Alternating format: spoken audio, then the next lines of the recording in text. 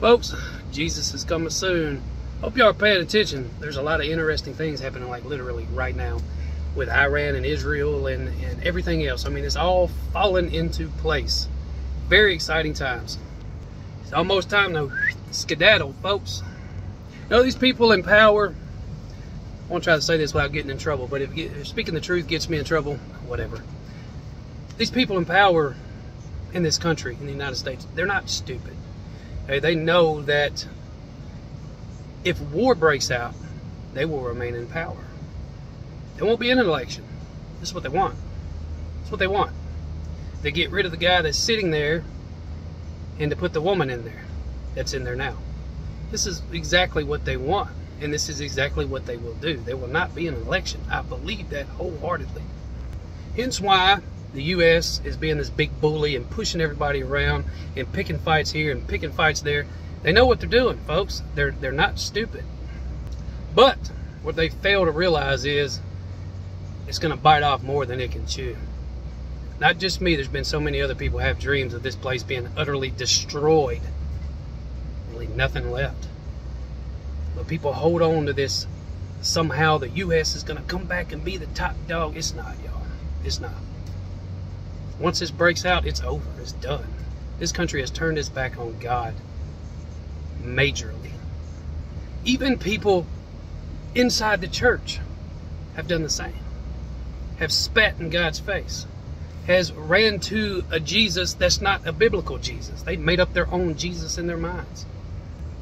Made up a Jesus where somehow, oh, I can I can talk badly about this person right here and smile to their face We'll talk about them behind their back, smile to their face, and I can just go run to these little buildings when the doors open on Sundays and Wednesdays, and I'm safe.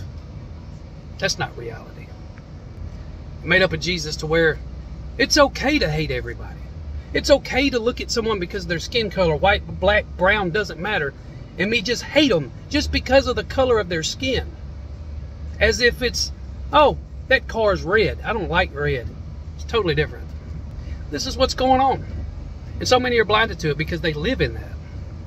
Folks, I want to throw in some prayer requests, not just for my family.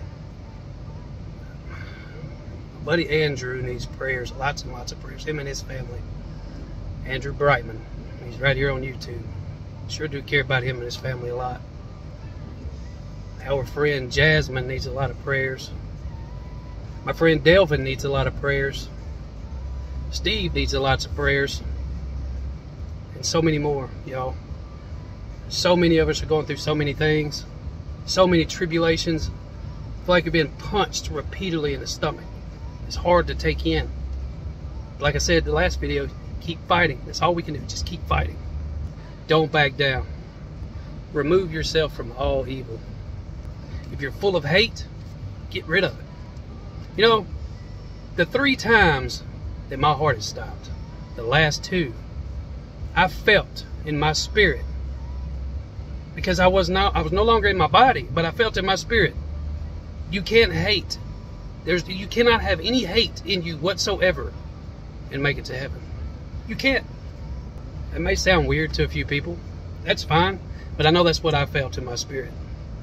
There's a lot of people that I don't like their ways because their ways are, are worldly and they try to they they play church. They're not the church. They play church. I don't like that about certain people, but I don't hate them. I hate to hear gossip, especially when people put their own twists on it. I hate that. But I don't hate the individual. You know, just like I'll explain to you like this.